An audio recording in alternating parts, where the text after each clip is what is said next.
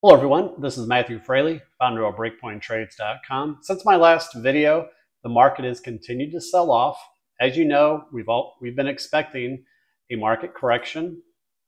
A couple weeks ago, our NYSI 9 EMA crossover system, as I've been covering in my videos, gave a very objective sell signal. We were tracking this all along. Congrats if you took that short signal. You're up nicely now. Furthermore, the KISS systems, which you know are trend following, and they've pretty much caught this entire uptrend. Many of these have started exiting over the last couple weeks. Here's the S&P 500. Our KISS system went long on October 31st, had an awesome entry there, held it all along the way, raising its stop all along. We call those smart trailing stops. It exited on Monday at 52.80 and it's been cash the triple Qs are out. A lot of other stocks are out as well. Not everything, but there's been a lot of the KISS systems been exiting. We've had bearish breaks in symmetry on the S&P 500 over a week ago, on the Dow Jones two weeks ago, and of course on the NASDAQ recently. And after a break in symmetry, odds strongly favor a lower high. All right. So again, we're going to cover everything extensively, extensively here, give you my thoughts. Again, my name is Matthew Frailey founder of BreakpointTrades.com. Founded it back in 2003 to provide advanced technical analysis, market commentary, and trade ideas and sophisticated trading algorithms, such as our 21 mean reversion systems, our KISS systems. Some of these mean reversion systems have started scaling into some of this pullback. But we'll get back to that in a minute. Let's go and get started with this newsletter. It is April 17th, 2024. And this is our back-end recorder for our standard web page format for our subscribers. You should check out our website, breakpointtrades.com. We send out five detailed newsletters a week, but let me go ahead and get this recording started now. Hello, everyone. This is Matthew Frailey with breakpointtrades.com. This is the Wednesday, April 17th newsletter. Tonight's newsletter, as you can see, divided into six major sections, table of contents. Um, after our discussion here, we're going to get, first off, we're going to talk about the admin admin comments. We're going to talk about our SPY and ES mean reversion systems. As you know, these have started scaling back into the market a little bit. They can be early at times. They often are, but they're starting to scale in. Also, I'm going to talk about our KISS systems, our trend following systems. Then we're going to go and move on to the general market analysis. We'll look at the major indexes, big focus on the S&P 500, the NASDAQ, and the small caps. We'll also look at the Dow. We'll also look at some key indicators like the VIX the McClellan oscillators. All right. We'll also look at bonds, high yield corporate, and HYG, as well as the 10 year treasury yield. We're going to review a few market sectors. We'll look at the US dollar, commodities, precious metals, GDX, also cryptocurrencies, and we'll follow up on some trade ideas. Again, like I said, today's video newsletter is coming out later than normal. I had a commitment tonight, so I couldn't get it finished before that. Anyway, like I said, it's been another down day for the market. S&P lost 0.6%, Nasdaq lost 1.2%, Russell lost 1.1%. For the week, pretty nice losses here. S&P 500 down 2%, Nasdaq and Russell down 3%. Again, the market's experiencing a nice pullback as expected. Overdue. You know, the market had one of the longest uptrends since that late October lows, so certainly overdue. Um, last week we had a bearish break in symmetry on the S&P 500. Two weeks ago we had a bearish break in symmetry on the Dow, and of course the Russell had it. Remember the Russell was in a very obvious rising wedge. This week the Qs broke their symmetry, so that all spells for potentially the next rally to form a lower high instead of a major bottoming put in here. The NYSI 9 EMA system gave a great objective sell signal about two weeks ago. I know a few of you took that short. Again, we've had some of these mean reversion systems started to go back long. Our KISS systems, they a lot of these have been exiting. Remember, they're long only. They follow up trends. A lot of the indexes or the indexes are out now. They've done a fantastic job, as you know. A lot of those went long back in October, early November, and caught pretty much the entire uptrend. And um, one thing, guys, you have options expiration on Friday. Maybe we'll get a turning point around there. I do think if the market rallies right from here, that it's going to form a lower high. I don't see a bottom here and a rally to new highs. I think the next rally attempt will be sold. Then after you come down again, maybe that'll be a better low. But we'll get back to the charts. Let's go and get started. Like I said, some of the mean our mean reversion systems have started going long here. We have 21 mean reversion systems. I developed these many years ago. I kind of went by you know the shotgun approach by developing as many different types of mean reversion systems as I could. 13 long systems that look for longs, nine systems that look for shorts. Next, image number three. So here's currently the open mean reversion systems for the SPY and ES futures. Again, we have 21 systems. You're never going to see all 21 systems in a trade, guys. But, you know, we've been pulling back nicely here, and we've had some of these systems started to take objective long. So the CCI system is taken along here. That has very good statistics. That's the commodity. That's based on a CCI being very oversold with a divergence. Has a profit factor of around 250, which is pretty crazy. 96% winning trades. Again, it can be a little early, but that's been going long.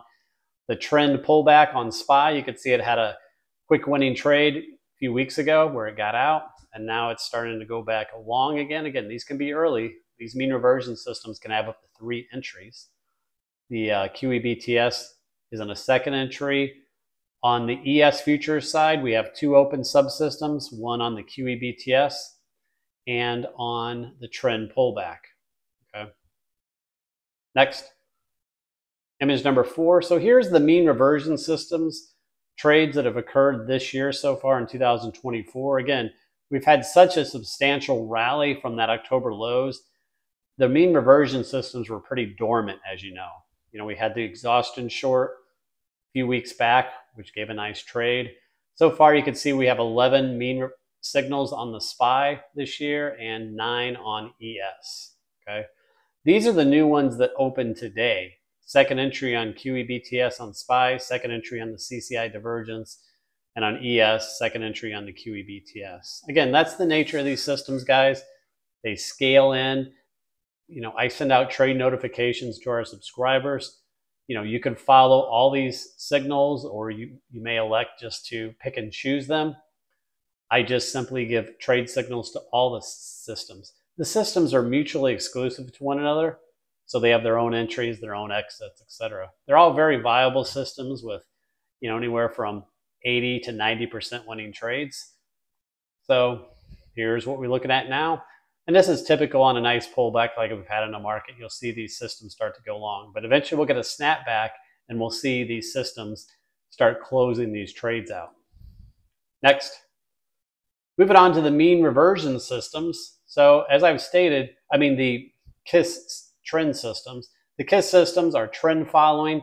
They're opposite of mean reversion. Remember, mean reversion, you know, it's looking to buy areas of it, you know, when you're when the market's in a long-term uptrend, it looks to buy pullbacks. When the market's in a downtrend, it looks to short rallies. That's what mean reversion does. But anyway, the KISS systems are trend following, and they've done an awesome job about catching the uptrend, most of the rally from the late October lows. But a lot of the KISS systems have been closing out over the last couple weeks. Distribution, going to cash. You can see on our BPT basket here, most, the majority here on the basket are in cash. The S&P, Apple, AMD, the Dow, all these. Today, the triple Qs went to cash. It locked in a 21.1% gain. It had originally went long back in October. Coinbase and AVGO closed out. Coinbase closed out with a 50.4% gain. AVGO closed out with a minus 5.13% loser. Okay. But it, before that, it had a nice big winning trade of something like 70%. So that's the nature of the KISS systems. They've started to scale out here. Not surprising on the market.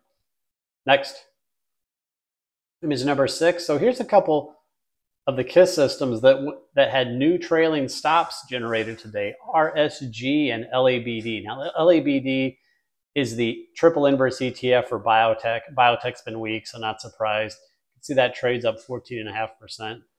There's been four smart trailing stops. It took a long entry on April 4th. On RSG, the KISS system went long on October 16th. It's raised its stop 16 times. The trade's up 27.7%. It's done a very good job. But the reason I'm showing you this, take a look.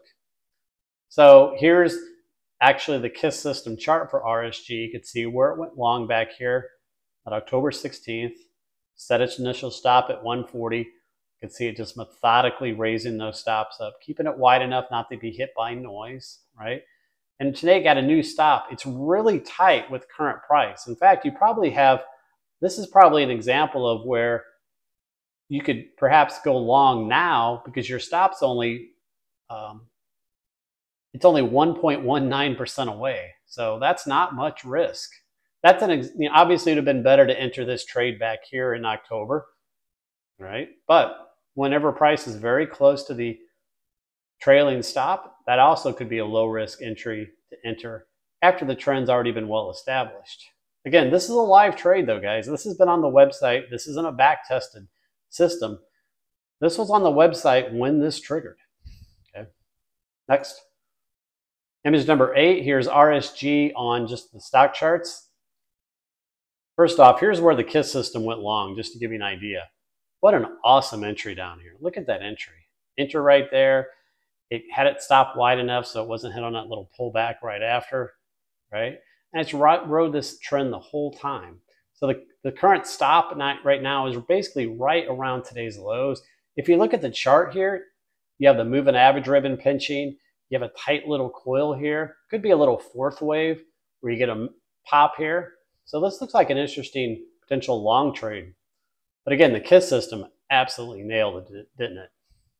Next, let's go a bit back to the general market analysis. So here's the index sector table, what transpired today and this week. Again, bloody red. The Dow was down the least, right? Typical, but it's been also the weakest over the last several weeks. It started selling off earlier. S&P down 0.6%, NASDAQ about 1.2%, the Russell down 1%. Big losses here for the work week, 2% to 3% on these indexes. As far as the 21 market sectors, most were down, a couple were up, such as utilities, banks, financials, and um, for the week, pretty good losses here as well. Only, really, pretty much everything is down Consumer staples flat, but pretty much all the sectors.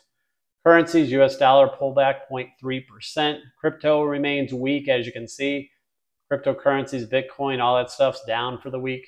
And especially the stocks have been, we call, you know, there's the halving event with crypto, with Bitcoin, where it's basically twice as hard to mine new Bitcoin. And um, honestly, the stocks have been halved. kind of a bad joke, but it's true. Commodities here, the, the index DBC was down about 1.6%, which is same for the week. Again, kind of a mixed bifurcation here, up and down, crude oil slightly up, gasoline, natural gas, copper were down. Agriculture up today, I went ahead and refreshed this. I noticed the data was delayed here a bit. So again, commodities, you can see DBC down, index down 1.56% today. Crude oil down 3%, gasoline down, natural gas down, copper up, agriculture up, wheat, coffee. So a lot of the ags were up, silver, or the energy market were down. As far as the precious metals, gold was down slightly today, silver slightly up. GDX, the miners, up 1.6%. As far as the bond market, nice pullback in the 10-year, 30-year treasury yields. Pullback right off those channels that we've been showing. Next. Item number 10 shows the economic news calendar. Like I said, we have a lot of earnings this week. Thursday, we have initial jobless claims, Philly Fed, existing home sales, and natural gas inventories. Like I said, a lot of companies are reporting as well. Oh, also options expiration on Friday. That'll be a big one, guys. Okay, let's go and jump to these index charts. First chart below, item number 11 is the weekly snapshot of the major indexes. So you can see that what's happened in the week here, three down weeks so far on the Dow. Remember, it lost its 9 EMA last week, early last week, which was a warning. The S&P is obviously well below it. Remember, I said once we lost those nine-week EMAs, that would lead to more downside, and it has. The, the middle Bollinger Bands approached on the weekly S&P. We're very near it on the NASDAQ, as you can see, basically testing it. Of course, the Russell IWM has been the weakest. Maybe it's tagging test or targeting its lower Bollinger Bands. Next, let's look at the individual indexes themselves. Here's the Dow. Like I said, the Dow broke its channel a few weeks back here, as well as losing the 50-day moving average there in red. That was a bearish break in symmetry. You had very pronounced MACD divergence, and the MACD was closer to the zero level, which means it was more likely to work out, and it's working out. So it continues moving down here. The 9 EMA is now resistance, and the next support or demand zone is down here, right around this box area. That's a likely target here. Next, chart 13, here's the weekly view. Again, you can see nice pullback. We had an RSI divergence, and like I said, Likely, we're going to test at least this horizontal area, 37,000. That was previous resistance, now potentially support. Next, moving on to the S&P 500 charts. Here's the daily S&P.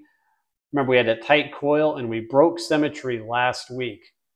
The largest pullback in that entire uptrend off the October lows was around 130 points.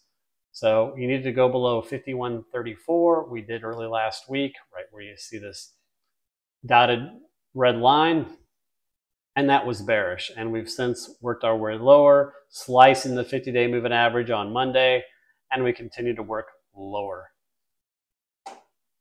Next, image, image number 15.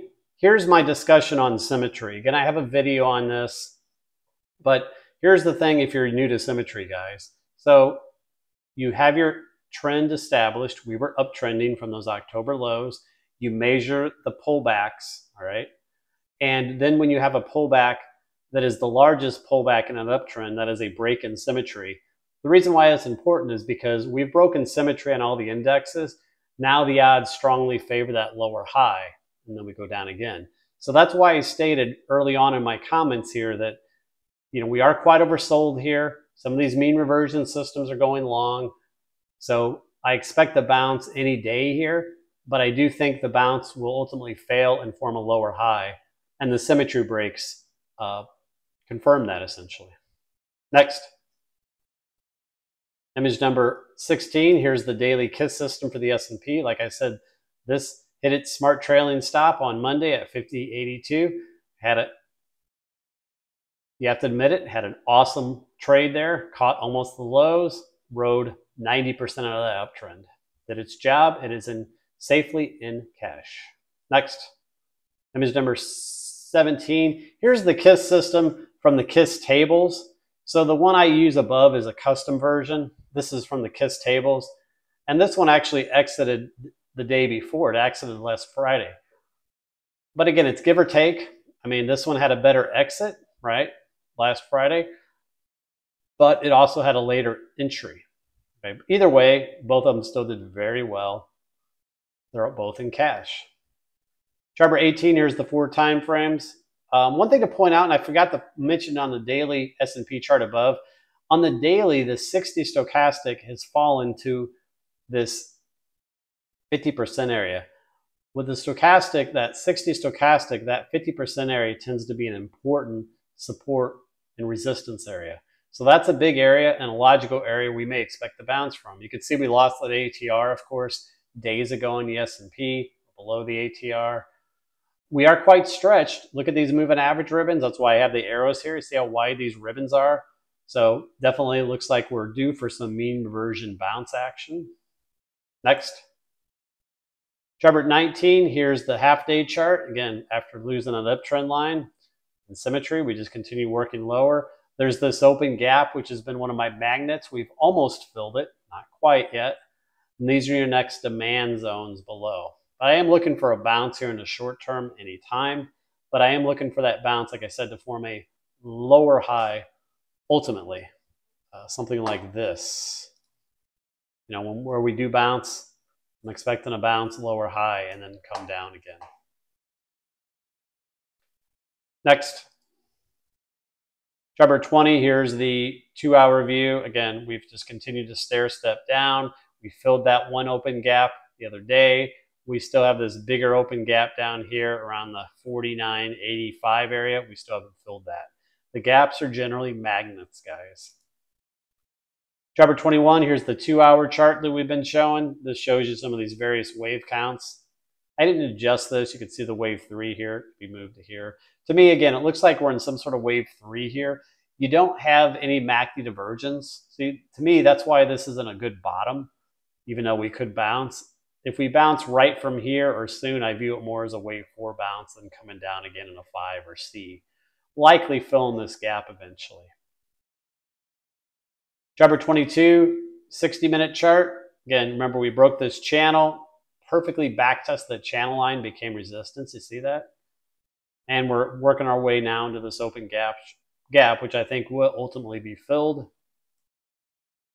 Chart 23, here's a 15 minute chart just showing the steep downtrend channel. So that's one thing to monitor here short term if we can get out of that channel. Next, moving on to the NASDAQ.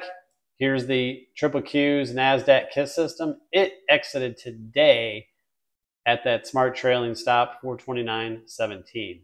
Okay, again, it caught 90% of the uptrend going long just off the lows in October 31st exited right there. Nice trade. Locked in those nice gains. Next, chart 25, here's the four time frames. Again, similar to the S&P. Like I said, we've been losing ATR supports, downtrending. We, do, we are, the moving average ribbons on these smaller time frames are getting pretty stretched here. I see a DeMark 9 there on the 130 minutes. So again, we could bounce here any moment. Next, chart 26, Here's the triple Qs daily. Like I said, we had this tight coil coming into this week. We discussed this on the weekend. We broke that coil to the downside on Monday. We also broke symmetry. Okay. So the Qs were the last to break symmetry. You had the moving average ribbon. You see how that's a great guide. It was bullishly stacked that whole time, but then it started to pinch here and now it's curling to the downside. Whenever it's going sideways like this, or your moving averages are flattened out, that's when you're more vulnerable. When you're like this, when things are just strongly uptrending in a 45 degree angle, you know, the market's not susceptible, susceptible to big corrections. But when it flattens out, that's when you get your pullback. Anyway, there's a demand zone right here, which we're testing the top of. Next. Chart 27, here's a two hour view, just shows that same coil. Again, we broke that symmetry the other day. Um, filled this first gap. Next. Chart 28, here's another chart. Two hour chart as well, showing this coil, filling the gap. Again, showing the same thing. Like I said, this was one target. There's also a demand zone down here, and that's another support. Now, likely, I think we'll bounce before we get through that. Um, otherwise, these could be longer term targets on the next major sell off. And finally, chart 29 is a 15 minute chart, just shows you a downtrend channel in the Qs, something to monitor if price can get break out of the channel. There is a little MACD divergence here at the moment.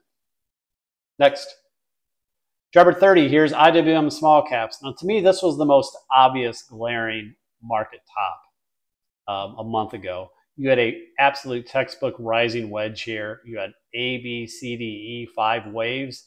That's the bearish labeling, okay? Five what true wedge patterns are five ways like this, guys. So there's an education for you. And true wedges also always have MACD divergence. If you have a wedge, if you draw a wedge pattern and you don't have MACD divergence, likely the wedge is incomplete. That's one thing I've learned. Passing it on to you. The demand zone, we're now into the first portion of the demand zone here. And you have the 200 day moving average, which is slowly moving higher. So this could be a good target area ultimately down here.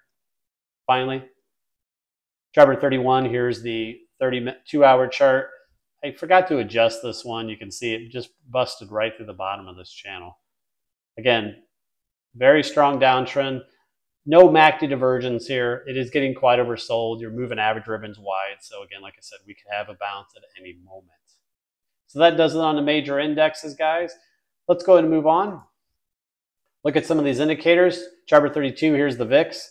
So the VIX actually closed back inside its upper Bollinger Bands yesterday, but wasn't, wasn't a great buy for one day as, you know, price fell lower. But it's firmly back in the Bollinger Bands now, so there is possibility of a bounce. Chapter 33, here's our NYSI 9 EMA crossover system. Again, if you go listen to my newsletters from a few weeks back, I was watching this. I said the next cross here should be a good short signal. And lo and behold, that's what it was. I gave you he ample heads up on this system and it triggered and congrats if you followed it. Next, image number 34. This shows you that at NASDAQ with the NAMO, that's the McClellan oscillator for the NASDAQ, it is below its lower Bollinger Bands for three consecutive days here. So that generally is a pretty good mean reversion signal for a bounce. The NYMO, which is the McClellan oscillator for the NYSI, NYSE, was below its lower Bollinger Bands for three days. It is back inside. But the NAMO here definitely suggesting a bounce here is imminent. Next, chart 35, here's the percentage of stocks in the S&P 500 that are above their 20-day EMA, exponential moving average. And you can see how this was up well over 85%, basically end of March it has now fallen to around the 10% level. So it is getting oversold as well. A lot of the lows, if you look at some of this, some of the major lows, usually occur with a divergence or some kind of up down. And right now we don't have that, but it is getting oversold. Next, moving on to bonds. Here's the high yield corporate market. Okay, that rising wedge played out, you can see. Market tends to follow this, and it's been following it down. Next major demand zone is way down here, close to that 200-day moving average. I think it may eventually work there, but when, I think we'll probably see a bounce first. Chart 37, here's the 10-year treasury yield. Remember, I had this tight uptrend channel. So got to the channel, it's pulling back from that channel. Chart 38, here's TLT 20-year bonds. Again, bonds move opposite of rates, so you have basically the inverse. Instead of an up, upward channel, it's a downward channel. Price bounced right off that channel line. Next, let's look at a few market sectors. So here's XLK Technology. Remember that contains the, those major tech stocks. It's been leaking oil here. It lost big support on Monday. But, you know, again, look at your moving average ribbons, moving averages. You see how your 20 MA was had flattened out and was had a slight negative slope. Your 50 day had flattened out moving average ribbon, you see how it had crossed and was now starting to squeeze. So it was vulnerable here to a sell-off, and now we're getting it. Chart 40, here's the semiconductors, which have been one of the stronger sectors. They're also selling off as well. Lost their 50-day moving average on Monday. Nice sell-off today. Chart 41, here's XLC Communications. Remember that contains a lot of those FANG type stocks, Amazon, etc. It's also leaking oil, but still hanging around this 50-day moving average. Jabber 42, biotech, been selling off nicely. Looks like the 200-day moving average here is the next target. Jabber 843, materials, nice pullback. Also testing this 50-day moving average now. You can see that had a nice MACD divergence there. Jabber 44, here's real estate ETF. Broke down from that coil a couple weeks ago, been selling off strongly since. Again, with those rates where they are, 30-year mortgage rates at 7.5%. Are you surprised? Driver 45, here's XLE Energy. Again, this had pretty much a nice little blow off top here. It had a heck of a move. We were long energy space this time, but it looked toppy up here and it's having a nice pullback. All right, moving on, Chart 46. Here's the US dollar. Nice rally out of this resistance, but stalling up here around this resistance area for now. Chart 47, here's the Japanese yen. This is the weekly chart. Remember, it's breaking this descending triangle last week, and so far a little follow through. Looking at the crypto market, here's Bitcoin. Remember, this broke its coil last week, and it continues working lower. Jabber 49, here's another chart of Bitcoin. Remember, you got kind of a support area here, but I'm showing this, guys, because if it doesn't hold this, there's a big air pocket thin zone here where Bitcoin could melt down to the lower 50,000s if it wanted to. There's really no support here, okay? Jabber 50, here's Ethereum. This That ABC bear flag has been playing out, as you can see. Next, Jabber 51, looking at some of the crypto stocks. Here's Coinbase, lost that support, as you know, on Monday, been working lower. Jabber 52, MSTR. Again, MSTR was a long art of ours back at 531 back in February, rallied up to 2,000. So essentially quadrupled, which is crazy. But coming down, it's now below its 50-day moving average. Jabber 53, Mara, here's an example of one of the crypto miners. Well, the miners are been horrid. Look at this. Quite ugly. Moving on to commodities, here's uh, DBC, the index. Remember this weekly pattern? So price stalled at the top of the coil and has been pulling back. Jabber 55, here's crude oil, rallied up to the supply zone where price found resistance, now selling off. Jabber 56, here's the tradable ETF, USO. Again, it got up to resistance there, pulling back. Jabber 57, natural gas. Really kind of more sideways action here. Slight break of that coil. Jabber 58, here's the ETF, UNG. I redrew this sort of as a wedge pattern to monitor. Jabber 59, copper. Remember, this broke out of this coil pattern back in early March, and it's been moving up nicely. Jabber 60, DBA, agriculture. Again, little pullback yesterday. It's still holding on, though. MACD divergence here, but the MACD is way above zero. So usually when it's way above zero like that, you usually don't get a major top. It's had a hell of a run from that January break from that coil.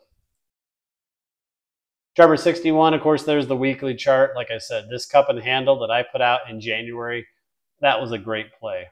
Again, I'm not trying to tout myself, but that was a pretty good call. Moving to precious metals, Jabber 62 here is gold. Like I said, down slightly today. My guess is either a C or more likely a three, and then maybe we get some sort of four pullback here. This got quite extended. You can see the ratio here curl down. Again, gold had a hell of a move from that channel break. There is no MACD divergence, but it got it overbought here. I do think that 24.48 high is going to be it for a while. Jabber 63, here's GLD on the two-hour view. Remember, I've been showing this wave count. It really counts clean to have a completed five of five back here. Price bounce, so far we got a lower high there. Jabber 64, there's the weekly chart. Again, nice move.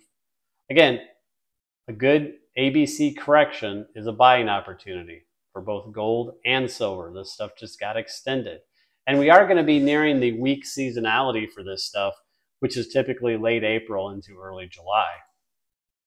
Jabber 65 here is silver. That was up a little bit today. Still holding that 9 EMA, but again, guys, we are stretched. Look how wide that ribbon is. That's typically when you get your mean reversion pullback.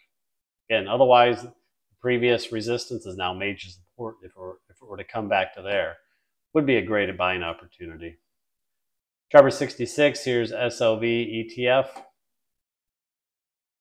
Jabber 67, here's SLV on the weekly. Remember, it broke out of that ABCDE coil. And like I said, guys, long term, this looks really good, but, you know, it may need some sort of ABC pullback you get something like that, you want to buy the heck out of it.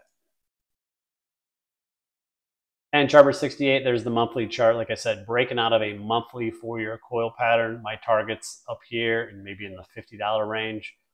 So long, long-term bullish, but short-term, you know, looking for a pullback. Jabber 69, here's ZSL. That's the double inverse ETF for silver. This is kind of a hedge if you have a bunch of silver, you don't want to sell it. If it breaks this trend line here, gets over about 13, I think you can get a nice bounce on that. That'll help you, you know, capture a pullback on silver. Driver 70, here's AG, one of the silver stocks I put out a month ago. This weekly coil pattern had a hell of a move. Like I said, good pullback here would now be a buying opportunity. Trevor 71, here's the daily of AG. Like I said, it got very extended. Here's an example. Look how wide that moving average ribbon got. You see that? Just absolutely insane. And so you got your logical mean reversion. But it's pulled down here to the 20. That's a support. That was probably a good area to start dipping your toe back in if you sold up there. Trevor 72, here's GDX. Remember, GDX is at a heck of a move from that, that trigger, long trigger right there got extended, pulled back. That bounce did hold that previous resistance, now support. Moving average ribbon still pretty wide here, so we may need to see some, you know, coiling action or ABC to work that moving average ribbon off. Chopper 73, here's the BP GDM gold miner system, mechanical system, gave an excellent buy signal on March 1st, right there. Very clean. I like these Renko charts. And again, it's up in this overbought territory. Moving to the final part of the newsletter. First off, let's look at some of these major stocks. Here's NVIDIA. Still holding that 50-day moving average. That's the key now, guys. Can it hold the 50? If it doesn't hold it, then I think it leaks oil and maybe even fills a gap back here in the 700s. Driver 75, here's NVDD. That's the inverse ETF for NVIDIA. Been showing this for a while. Still looks bullish here. It's been curling up. Driver 76, AMD, remember bear flag played out, lost this demand zone. Now the next support is right there. And you got a demand zone around the 200 day moving average. Maybe that'll be tagged over time. Driver 77, Microsoft, also leaking oil here, losing that 50 day. Driver 78, Meta, hanging on to the 50 day for now, but again, the onus is on the bulls and you had a divergent high up there. Chapter 79 now, been one of our short ideas. Broke that coil on Monday, still looks bearish to me. Taking a look at Tesla, here's Tesla. Remember, I had a coil pattern which busted the downside. You all know what's been going on with Tesla. Here's a zoomed out view in the daily. We had a demand zone here, which we're trying to hold, but there's a big old open gap here from January of 2023 that could be a next magnet. Let's zoom out further. Here's another daily. So if we lose the support zone, you see this zone, the next big support zone would be the 2023 lows down in the 120 to 100 range. And here's a weekly chart of Tesla. Like I said, there's a little demand zone in here, but if it doesn't hold, it could flush down to this 120, 110 area. Finally, following up on these inverse ETFs, here's SPXU, triple inverse ETF for the S&P. Remember, I had these out weeks ago. They triggered about three weeks ago on this slight channel break. And if you stayed vigilant, you stayed patient, you've been rewarded. It's been moving up nicely, well above its 50-day moving average now. Trevor 85, here's SQQQ, same deal. Nice move out of here. Look at how the ribbon just starting to curl up. Trevor 86, FNGD, that's the inverse FANG. This one hasn't broken out yet. You have a really nice base here forming. This looks pretty good. And look at your moving average ribbon.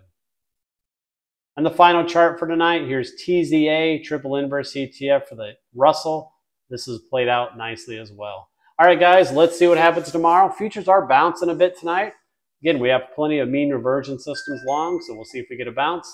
Again, appreciate all your support. Have a great evening. Take care.